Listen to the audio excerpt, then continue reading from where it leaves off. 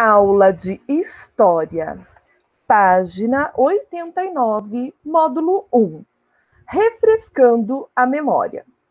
No quarto ano, você estudou diversos aspectos da história do nosso país. No quinto ano, você estudará outros temas da nossa história, inclusive temas atuais. Mas para refrescar a memória, que tal começar com uma breve revisão do que você aprendeu no ano passado? Vamos lá? A história do Brasil em linha do tempo, dos primeiros habitantes até 1850. Vamos observar esta imagem, que é uma linha do tempo. Olha aqui, uma linha do tempo. Aqui, nesta parte, está representado o período antes de 1500. Neste período, são os anos entre 1500 e 1530, entre 1530 e 1808, entre 1808 e 1822 e entre 1822 e 1850. Você está vendo essas imagens e já deve estar se lembrando dos conteúdos que nós estudamos o ano passado. Vamos pensar o que nós estudamos o ano passado que nos lembra essa imagem. Olha aqui, o que é essa imagem aqui? Essas pinturas, né? E aqui esses vestígios que foram deixados por caçadores e coletores, por povos antigos, que servem para a gente conhecer um pouco mais sobre o modo de viver dessas pessoas, dessa época. Aqui, olha, entre 1500 e 1530, o que essas imagens nos lembram? O que, que aconteceu entre 1500 e 1530? Portugal enviou representantes para que explorassem as terras do Brasil. Aqui eles descobriram o pau-brasil, é a árvore que tinha em abundância nas terras que foram encontradas pelos portugueses, né? E foi explorado durante vários anos. Entre 1530 e 1808, o que, que aconteceu nessa época? Olha aqui, você lembra que essa imagem tem na sua apostila do ano passado, né? A família real e a corte portuguesa, eles saíram de Portugal, eles vieram aqui para o Brasil e eles organizaram as expedições para procurar o ouro, pedras preciosas, capturar indígenas que eram vendidos como escravos. Depois eles fizeram a, a, a, escravizaram os negros. Aqui, entre 1808 e 1822. O que, que aconteceu neste período aqui? Dom João VI regressou para Portugal. Caso ele não voltasse, ele perderia o trono. Aí Dom Pedro, príncipe regente no Brasil, ele disse que não obedeceria mais às ordens dos portugueses. E as tropas portuguesas seriam consideradas inimigas aqui no Brasil. Entre 1822 e 1850, o que essas imagens aqui nos lembram? É, nós podemos lembrar que foi o período que foi governado por dois imperadores, Dom Pedro I e Dom Pedro II, e desenvolveu-se o debate entre os homens que estavam envolvidos na política do Brasil.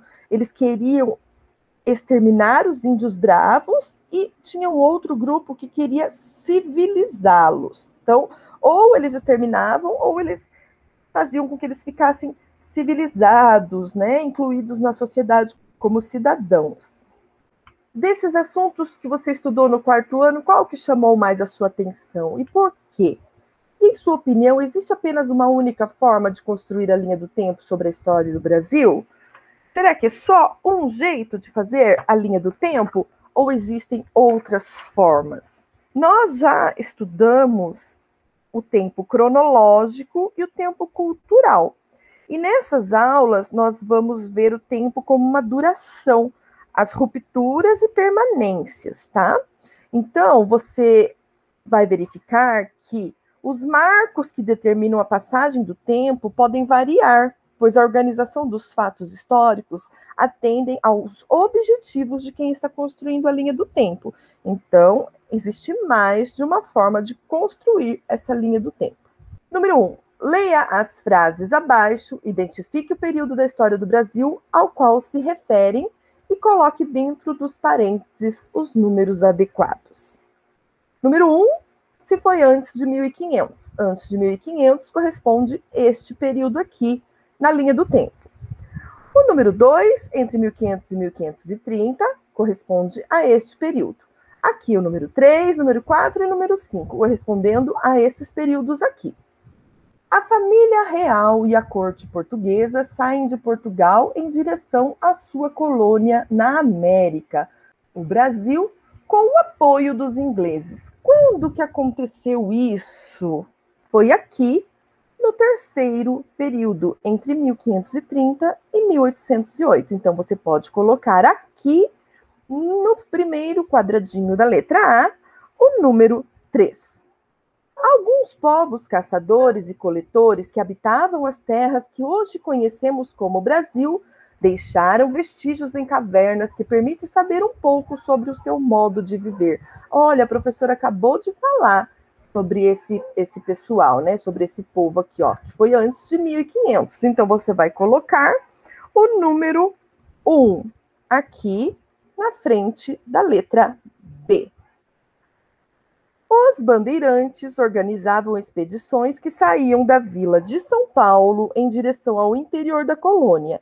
Eles tinham como principais objetivos procurar ouro, pedras preciosas e capturar indígenas que eram vendidos como escravos. Quando que aconteceu isso? Né? Olha lá, ó. Você pode ver aí na imagem, né? Quem é esse pessoal aqui? os bandeirantes, né? Então, foi no período entre 1530 e 1808. Você pode completar na frente da letra C com o número 3. Letra D. A coroa portuguesa enviou representantes para verificar as possibilidades de exploração comercial da nova terra, o Brasil, e esses portugueses descobriram o pau-brasil. Quando que aconteceu isso, pessoal? Foi aqui, ó, entre 1500 e 1530. Foi nesta parte aqui da linha do tempo. Então, você vai colocar número 2 na frente da letra D. Letra E. Nem todas as capitais se desenvolveram como o rei de Portugal e seus auxiliares pretendiam. Não havia muito interesse por parte dos nobres portugueses em mudar para o Brasil e cumprir com os deveres de donatário. Quando que foi isso? Foi aqui também, no terceiro período. Você pode colocar o número 3 na frente da letra E. Letra F. Há milhares de anos existiam povos com diferentes modos de vida habitando as terras que hoje chamamos Brasil. Nossa, nós já vimos isso também. É lá antes de 1500. Pode colocar o número 1 dentro do quadradinho na letra F. Letra G. O Brasil foi governado por dois imperadores, Dom Pedro I e Dom Pedro II. A professora acabou também de falar sobre isso. Foi aqui, ó, no quinto período, entre 1822 e 1850. Então, você vai colocar o número 5 dentro do quadradinho na frente da letra G. H. A extensa região entre os atuais estados de São Paulo e Rio Grande do Norte estava ocupada por povos que tinham hábitos semelhantes e falavam línguas parecidas. Por suas semelhanças, esses grupos receberam a mesma denominação, Tupi-Guarani. Quando que aconteceu isso, pessoal? Foi lá antes de 1500. Então você vai colocar aqui o número 1, um, que é do primeiro período antes de 1500. K. O príncipe regente do Brasil, Dom Pedro, decidiu que nenhuma ordem vinda de Portugal poderia ser acatada, que as tropas portuguesas no Brasil seriam consideradas inimigas e que se formaria uma Assembleia Constituinte. Quando que isso aconteceu? Foi lá no final, lá da nossa linha do tempo. Foi aqui no quarto período, entre 1808 e 1822. Então, você coloca o número 4 dentro do quadradinho na frente da letra K. L. O trabalho na mineração não era fácil. Os trabalhadores passavam horas com o corpo mergulhado na água quando buscavam ouro de aluvião ou dentro dos túneis das minas. Por isso, muitos adoeciam. Quando que aconteceu isso? Foi lá no terceiro período, foi aqui, ó, entre 1530 e 1808. Foi nessa época. Então você vai colocar o número 3 no, dentro do quadradinho na frente da letra L. Letra M. Em Portugal, as cortes exigiam a recolonização do Brasil. Isso foi lá no quarto período, entre 1808 e 1822.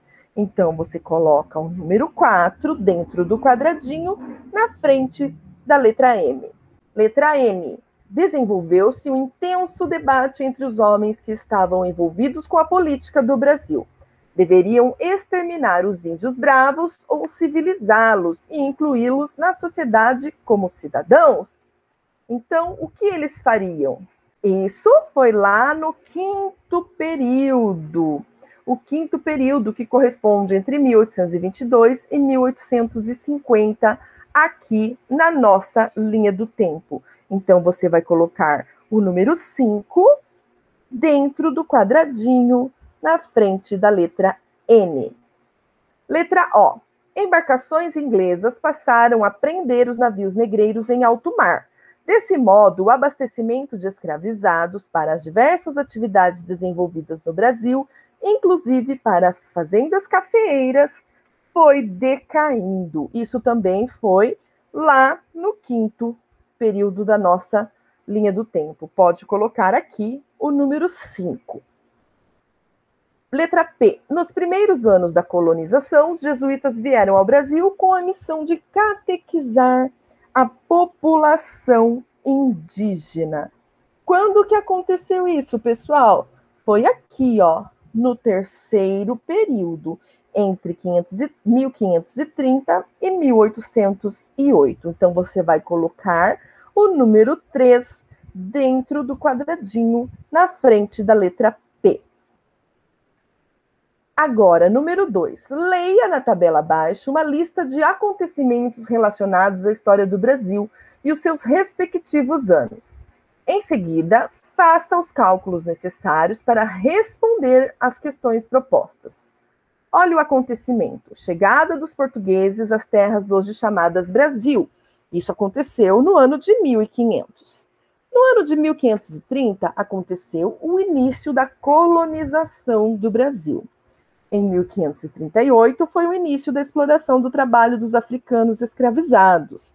Em 1808, houve a mudança da família real e da corte portuguesa para o Brasil. Em 1822, a declaração da independência política do Brasil em relação a Portugal. E em 1824, foi otorgada a primeira Constituição do Brasil.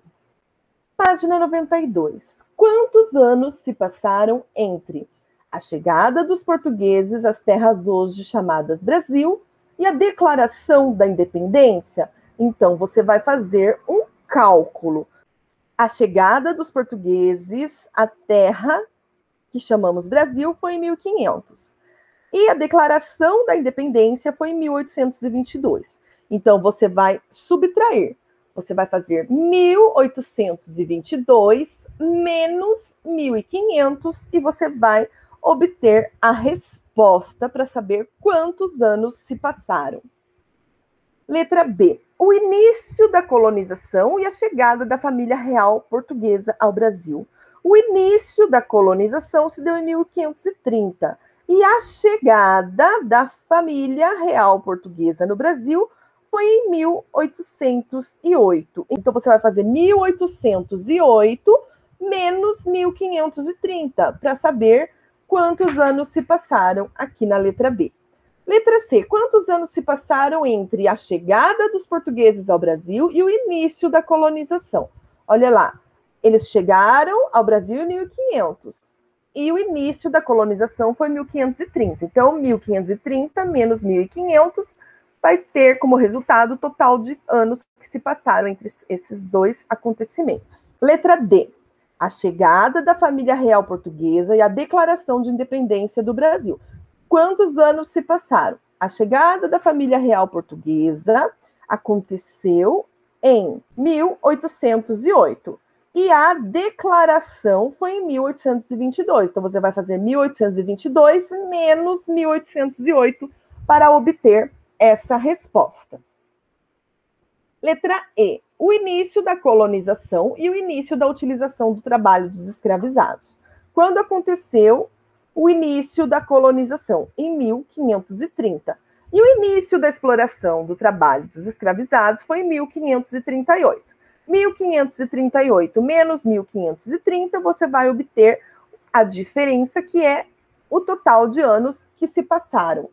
Letra F. A declaração de independência e a conclusão da primeira Constituição do Brasil. Quanto tempo se passou? entre a Declaração de Independência, olha só, 1822, e a primeira Constituição do Brasil foi otorgada em 1824. 1824 menos 1822, você vai ter o total de anos que se passaram entre esses dois acontecimentos. 3. Observe a linha do tempo abaixo. Pinte cada espaço de acordo com os resultados obtidos nos itens de A a F do exercício anterior utilize a legenda. O A, laranja, o B, esse rosa, o C, roxo, o D, verde, o E, amarelo e o F, azul. Então, para resolver a atividade número 3, nós vamos ter que observar o total de anos que corresponde aos períodos que se passou entre os acontecimentos da atividade 2 nós vamos representar estes períodos na linha de tempo abaixo. Então, o que, que vai ser? Olha só, a letra A, B, C, D, E e F correspondem às letras das questões aqui, ó, das respostas da atividade anterior. Então, lá na letra A da atividade 2, a chegada dos portugueses às terras hoje chamadas Brasil e a declaração da independência, entre esses dois acontecimentos se passaram 322 anos. O que eu vou representar na linha do tempo, lá na atividade 3, são os 322 anos. Por isso que eu vou pegar a cor laranja e vou pintar aqui no letra A. Cada divisão aqui na linha do tempo corresponde a 50 anos. Se a letra A eu tenho que representar 322 anos, então eu vou pintar até aqui, ó, 50, 100, 150, 200, 250, 300. Olha, aqui já deu 300 anos. Agora eu tenho que representar 22 anos. Eu sei que daqui a aqui tem 50 e está dividido em 1, 2, 3, 4, 5 partes. Então eu sei que cada uma dessa aqui vale 10. Então, eu pinto 20 e aí esta parte aqui eu imagino a divisão e pinto um tanto que represente 2 para corresponder a 322 anos que está representado aqui na linha do tempo. Depois eu vou lá, letra B. 1808 menos 1530 deu 278 anos, que foi o período de tempo que se passou entre os acontecimentos representados na letra B. Eu vou pintar então de rosa 278 anos. Vamos lá. 50, 100, 150, 200, 250, 260 270. Opa, eu tenho que pintar 278. Então eu preciso pintar um pouquinho mais aqui. Porque aqui eu não cheguei nem na metade, né? Então aqui eu representei menos. Vou pintar um pouquinho mais, porque tem que representar 278. Aqui corresponde a 278. Você não coloca o número, tá? Eu tô colocando aqui só para a gente saber, mas você não coloque, porque é um gráfico de barras, então não precisa pôr o número. Letra C. O que eu vou representar na letra C? A quantidade de anos que se passaram entre a chegada dos portugueses ao Brasil e o início da colonização, que foram 30 anos. Eu vou representar aqui na letra C, então, 10, 20, 30 anos. Vou pintar de roxo.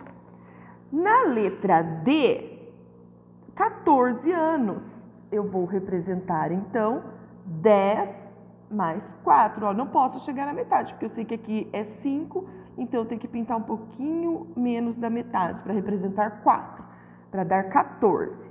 Letra E. 8 anos. Vou representar aqui em amarelo 8 anos. Letra F, 2 anos.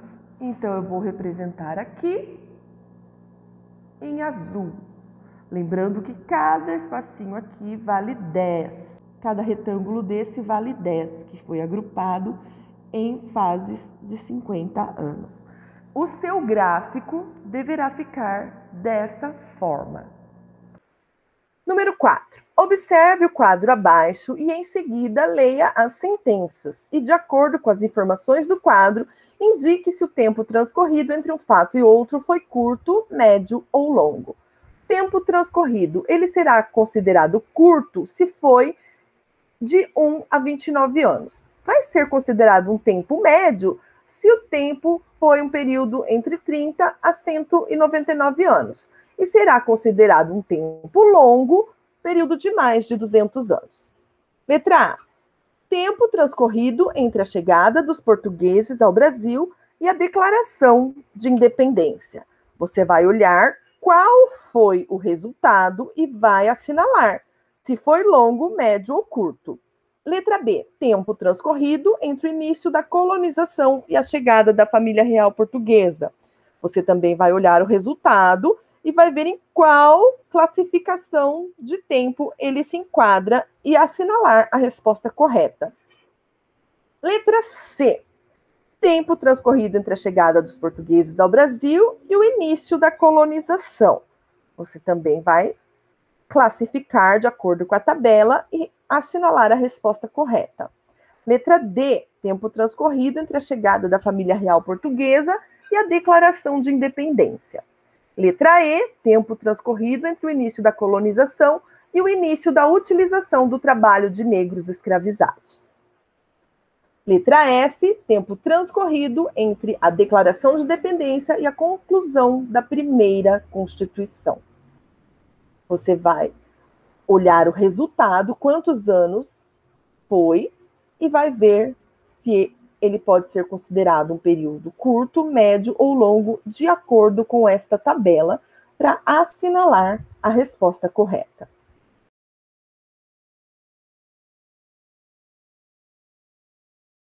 Atividade da página 94 em casa. Número 1. Um, enumere as atividades econômicas listadas conforme a ordem em que foram implementadas no Brasil, da mais antiga para a mais recente. Então, nós sabemos que o que foi que aconteceu primeiro? A grande produção nas lavouras de cana-de-açúcar, a mineração, a extração de pau-brasil ou produção de café nós sabemos que foi a extração do pau-brasil. Então, você vai colocar o número 1 dentro do quadradinho na frente da letra C, porque a coisa mais antiga aqui, dessas quatro, foi a extração do pau-brasil. Depois foi o quê? Foi a grande produção nas lavouras de cana-de-açúcar. Pode completar aqui com o número 2. Depois veio a mineração, pode colocar aqui o número 3. E por último, mais recente, a produção de café. Pode pôr aqui o número 4. Número 2, encontre no diagrama a seguir as respostas para os itens abaixo. Letra A, nome pelo qual as populações indígenas chamavam a terra, que depois foi ocupada pelos portugueses. Do que, que era chamado aqui? Primeiro nome que a população indígena chamava como? Eles chamavam, tem até aquela música, lembra? Isso, eles chamavam de Pindorama. Letra B, nome dado à prática dos colonizadores de trocar o trabalho dos indígenas por objetos trazidos da Europa. Como que chamava essa troca que eles faziam? Era chamado de escambo. Letra C, grupo indígena que habitava o litoral brasileiro quando os portugueses chegaram. Como chamava esse grupo indígena que habitava aqui? Eram os Tupinambá. Você vai encontrar esta palavra aí no diagrama abaixo. Letra D. Primeiro produto cultivado pelos portugueses no Brasil. O que, que os portugueses cultivaram aqui? O primeiro produto? A cana de açúcar. Letra E. Para os traficantes de escravizados, os africanos trazidos eram o quê? Eles eram considerados o quê? Mercadorias. E os encontravam ouro nos leitos do rio. Quem que encontrava ouro no leito dos rios? Como que eram aqui, chamados aqueles pessoal que saía em expedição? Isso, os bandeirantes. Então você vai procurar essas palavras pintando aqui no diagrama. Página 95, você tem as sugestões de leitura. Faça as correções da atividade Qualquer dúvida, a professora está à disposição no WhatsApp. Espero você na próxima aula. Até mais!